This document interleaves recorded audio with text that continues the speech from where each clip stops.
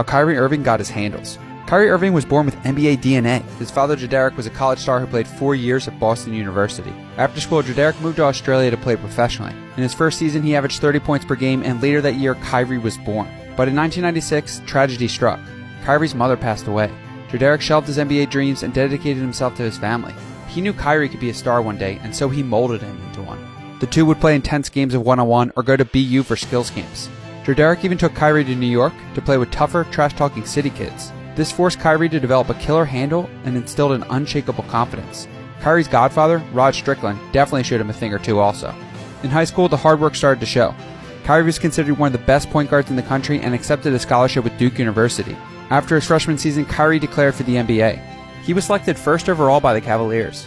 In 2017, Kyrie switched his jersey to number 11 to honor the man that sacrificed his NBA dreams for Kyrie's. Shoot me a like if you didn't know this, and give me a follow if you want to see more.